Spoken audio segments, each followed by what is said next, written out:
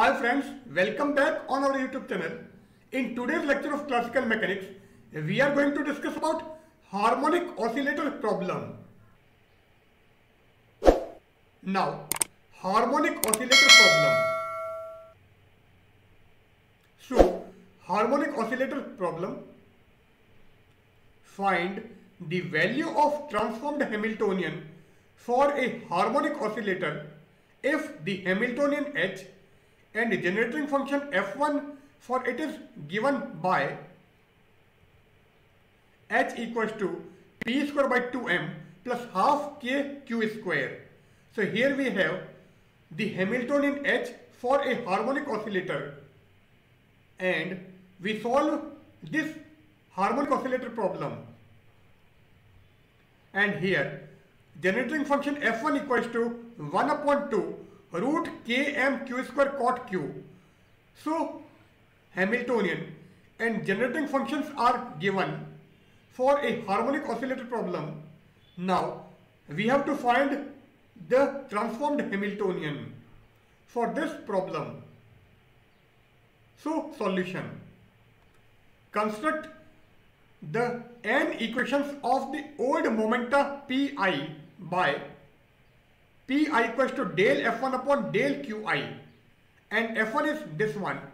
So we have to find pi by this relation. So p equals to del by del q of f1 and f1 is half root km q square cot q. Now if we differentiate it with respect to a small q then 1 by 2 root km and cot q is constant and the differential of q square is 2q. Now 2 and 2 will be cancelled out. So q root km cot q.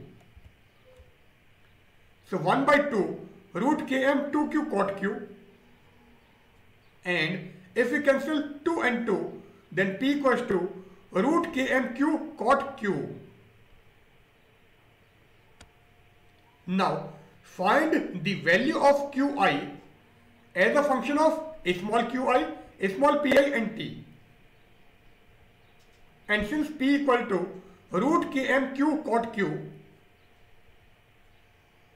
and from here cot q equal to p upon root km q. So the reciprocal of this equation that is tan q equal to root km q upon p. It means q equals to tan inverse of root km q upon p. So we find the value of qi as a function of old coordinate, old momentum and time and p is this one. So capital Q equals to tan inverse root km q upon p. Now we obtain the n equations of the new momentum pi by capital Pi equals to minus del f1 upon del qi and f1 is this one. So we differentiate this f1 with respect to capital Q and also we put a negative sign here. So p equals to minus del by del q of half root km q square cot q. Now half root km q square is constant and the differential of cot q is minus cosec square q. So minus half root km q square minus cosec square q and this negative and this negative will be cancelled out. So p equals to 1 upon 2 root km q square and cosec square q equal to 1 plus cot square q. So we can also write cosec as CSC. CSC means cosec. So capital P equals to 1 upon 2 root km q square into 1 plus cot square q. Now p is this one and cot q equals to p upon root of km q. So we replace this cot q with this one and therefore p equals to 1 upon 2 root km q square into 1 plus p square upon km q square.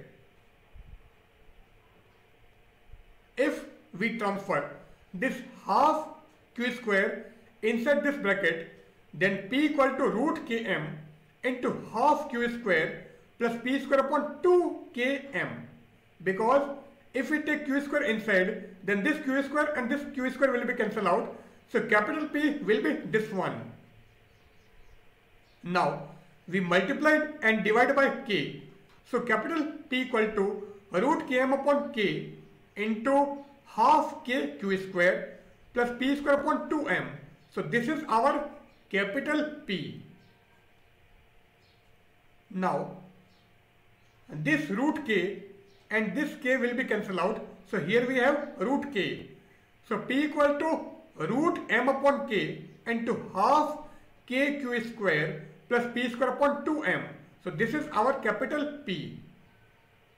Since Hamiltonian of the given harmonic oscillator is p square by 2m plus half kq square, it means this can be replaced with h. So capital P equals to root m upon k into h or Hamiltonian h equal to root k by m into p. Now Hamiltonian in terms of capital P is this one and function f1 is this one. Finally, we obtain the transformed Hamiltonian k by k equals to h plus del f1 upon del t. So h is this one and we differentiate this f1 with respect to time. Since f1 does not depend on time, since differential will be 0, so this is 0 and therefore k equals to root of k by m into p. So this is our transformed Hamiltonian. So here we also proved that if the generating function f1 does not explicitly depend on time, then there will be no change in Hamiltonian. It means the transformed Hamiltonian and original Hamiltonian will be same. Since Hamiltonian h equals to p square by 2m plus half kq square, it means the original Hamiltonian was quadratic in both q and p, but Hamiltonian k is linear in p and hence it has no dependence on capital Q. Therefore, the solution becomes easier because the original Hamiltonian means this h is quadratic function in Q and P and the new Hamiltonian that is K is a linear function of P. So its solution becomes easier. Here we end our current lecture. Soon we will be available with another lecture of classical mechanics. Till then, goodbye.